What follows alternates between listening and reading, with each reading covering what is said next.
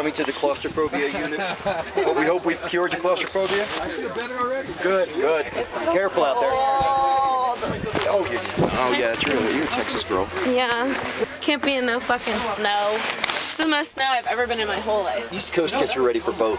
Although it's like August in Austin is. I love it. That's my favorite time of year. Oh. Summer's my favorite time of year. I'm so excited. I can't do it. It's too hot. I can't do it.